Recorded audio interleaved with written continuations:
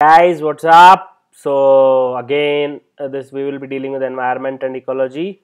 Uh, this time i'll be teaching a species and certain facts which were left before. So this is the youtube channel Unacademy. This is presented by me. If you want any query or any doubt to be resolved very very soon you can just message me at my facebook page facebook.com slash official. Do like the video uh, do like the page and uh, you can comment in the comment section below as well as on the comment section in the facebook post that is the only way i actually get to know that whether you have liked the video or not so ecology is a term which is coined by Ernst Haeckel. It is a scientific study of interactions. It is also interrelationship among organisms and their environment. We all know it. What we didn't know is Ramdeo Mishra is father of ecology in India. Moving forward, environment is sum total of all the conditions and influences that affect the development and life of all organisms on earth.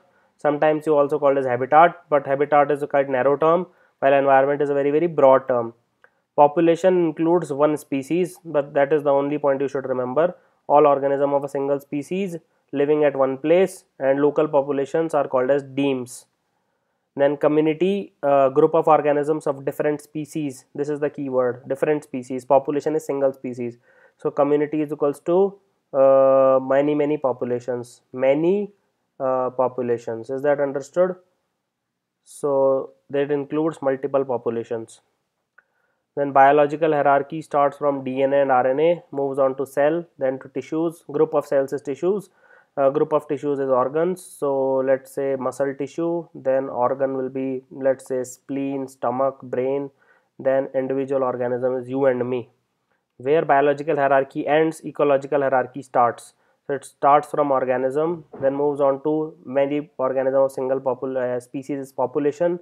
Then many population combines to form community. Community along with environment form ecosystem and huge ecosystems are called as biomes. And finally we have biosphere that is the entire earth.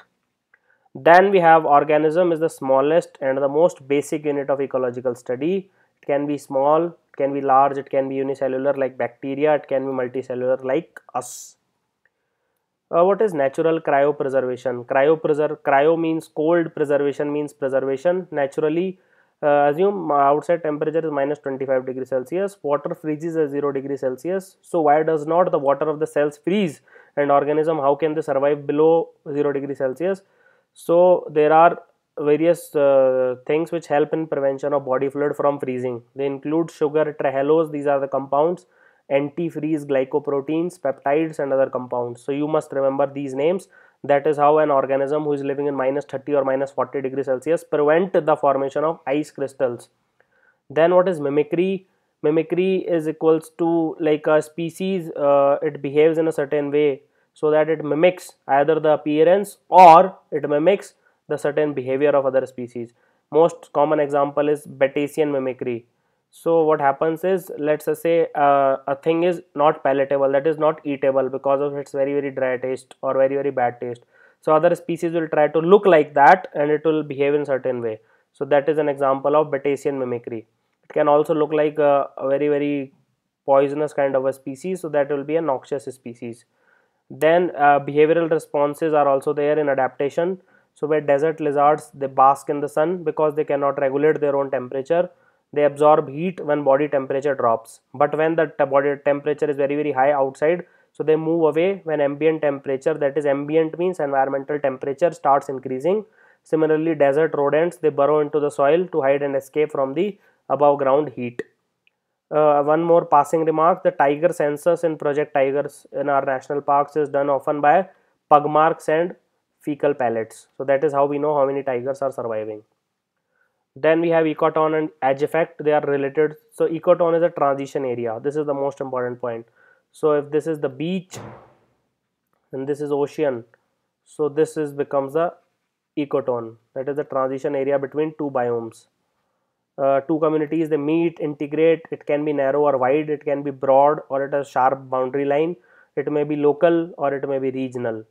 What happens is ecotone is it increase biodiversity in an ecotone is called as edge effect. So it refers to the changes in population or community structures that occur at the boundary of two habitats. It leads to greater biodiversity. Example estuary uh, that is partly enclosed coastal body of brackish water with rivers or streams flowing into it. These are the keywords. What is estuary?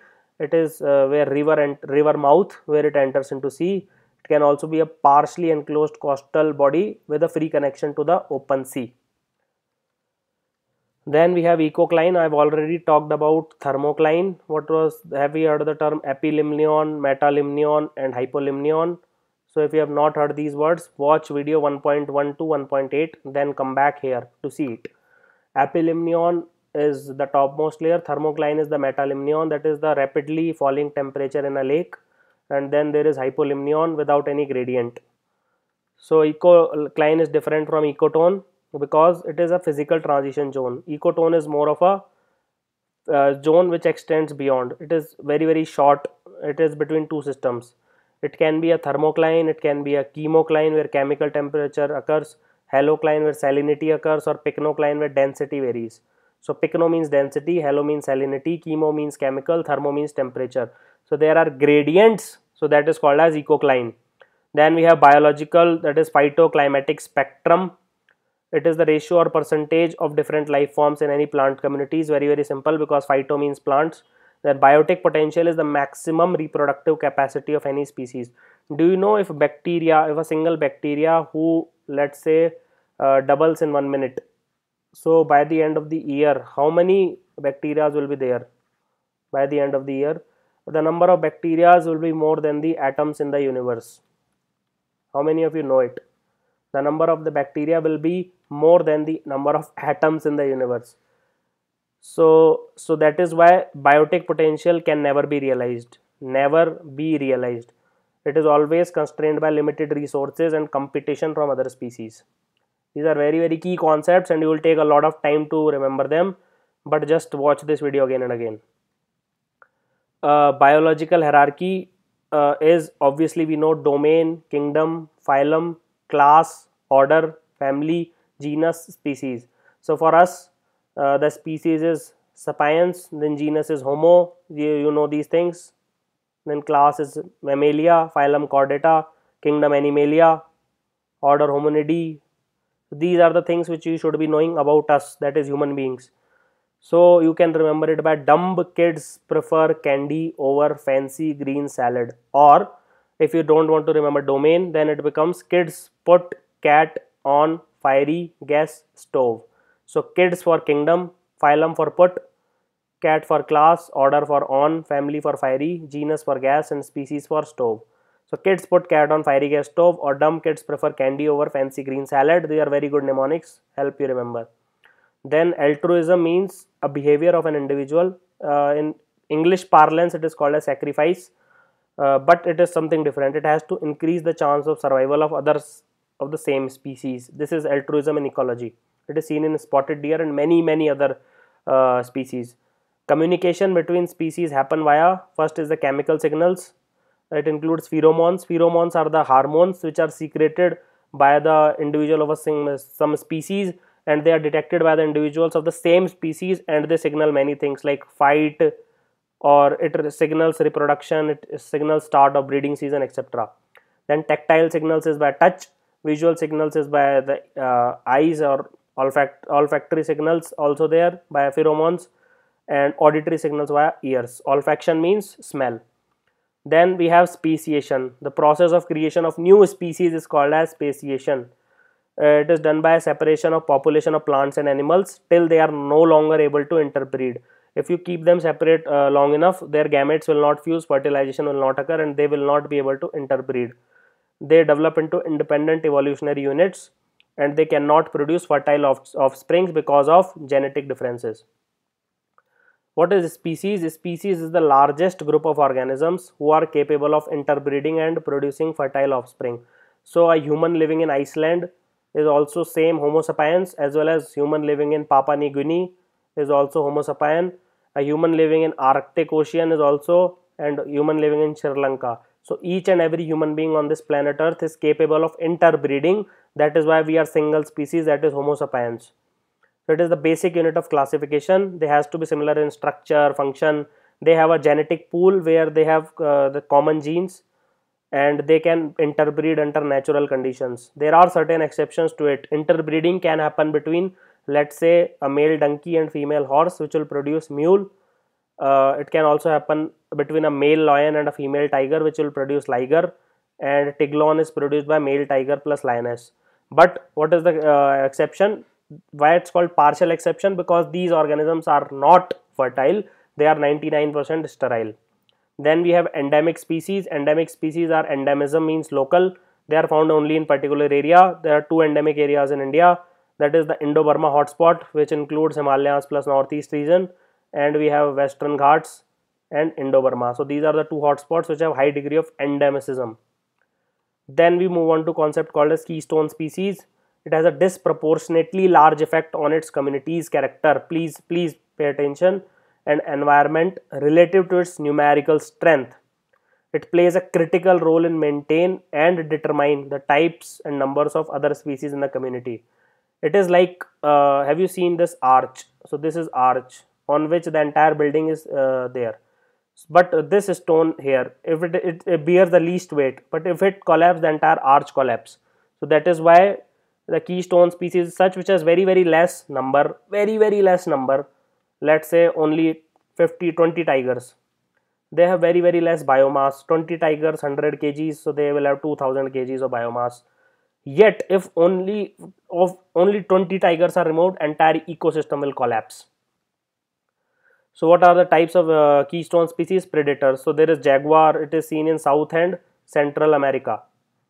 That is brazil amazon etc it can feed on up to 87 species and hence a small number of such predators prevent herbivorous species from eliminating plant species and they prevent dramatical alteration of the ecosystem. Similarly, sea otter, it predates over sea urchin who otherwise would have killed coral reefs and kelp roots. Very, very important. Kelp roots provides thousands of other species habitat and nutrition it also increases productivity. So if there is no sea otter so sea urchin will proliferate like anything they will destroy kelp roots and coral reefs. Then various pollinators are obviously there. Honeybees. Honeybee is the single most important keystone species. If honeybees are removed entire earth will be devoid of life. It is said that. So honeybees are the most important one. So they are if they are dependent upon single tree for their nectar what happens is the tree species automatically becomes a keystone species even they should not be large in size. Honeybee is very small. Mycorrhiza the fungus which is microscopic. A unique fungal species can which is helping the higher plant roots absorb nutrients from the soil. It is extremely important because if it is removed the entire ecosystem will collapse. In african savanna when elephants move they convert they destroy trees and they convert it into grasslands. So the grass entire african savanna is grassland ecosystem. So if elephants are removed it will convert into a forest ecosystem then we have something called as ecosystem engineers. So in north america we have prairie dogs. What they do is they burrow which provide the nesting area for themselves as well as other species.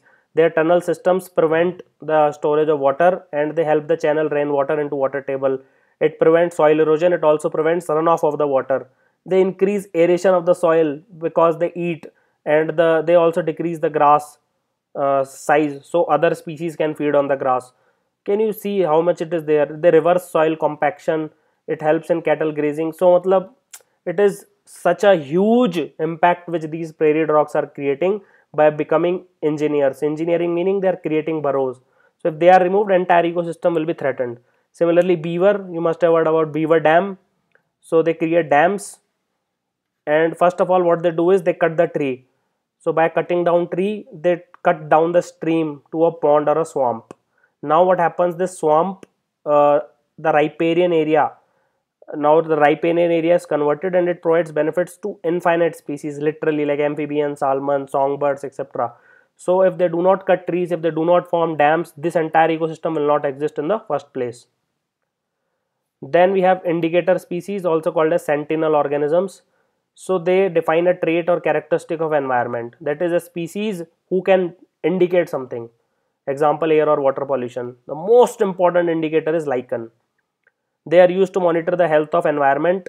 Uh, the function population status can reveal what degree of ecosystem integrity is still present. A species may delineate an ecoregion or indicate as a disease outbreak pollution. They can indicate these kind of things. They act as an early warning mechanism. Example lichen they cannot survive in air pollution. As simple as that they'll die so if lichen is present, it means the air is free of pollution.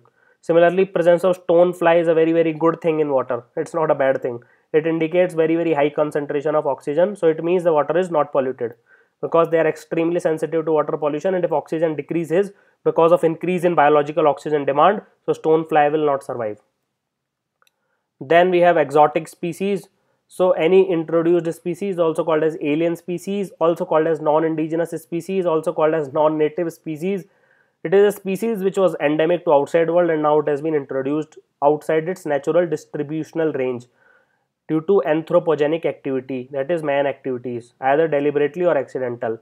Now they can become invasive species when if they have a negative effect on local ecosystem they compete with the local species for similar limited resources which led to decline or extinction of indigenous species is that understood so first example is nile perch so Nile perch introduction into Lake Victoria in East Africa led to extinction of 200 species of cichlid species.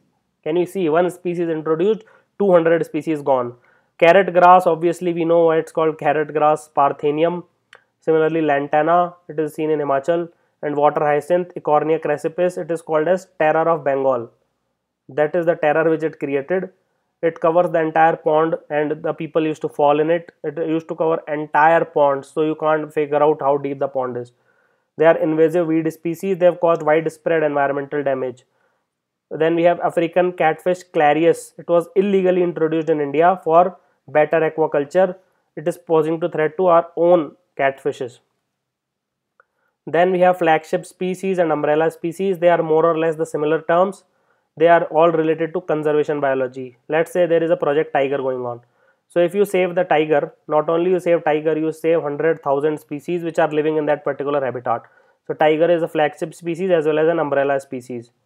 So it raises the profile of a particular species let's say tiger which are popular they have a charismatic species they can conjure awe and they serve as symbols and rallying points to stimulate conservation awareness and action example bengal tiger giant panda especially in the china then african elephant in africa asian elephant in asia. Umbrella species is such a species. If they are saved their requirements include the requirements of many many other species. So they help in protecting these species indirectly.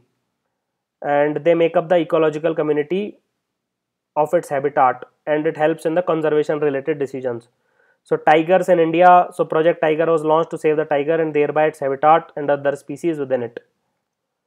So guys, uh, this was all about species. Uh, so this is the ninth video. Do watch all the videos. They are awesome. They are full of fun and will take you less than two hours to watch all of them. So if you want me to make more videos on environment and ecology or any other high yield topic, do let me know. So if you do like the video, uh, hit the like button below. Uh, I'll appreciate it and also go to my facebook page and hit the like button there. And comment on the post on my facebook page if you want me to resolve any doubt. So that's it. Uh, this is the youtube channel Unacademy. Do click here to subscribe. All the awesome cool videos more than 300 videos are there. So if you still have any query you can ping me at my facebook page. That is facebook.com slash my name romansaini.official you can also tweet to me at my twitter handle at romansaini. Thank you for watching the video. Have an awesome day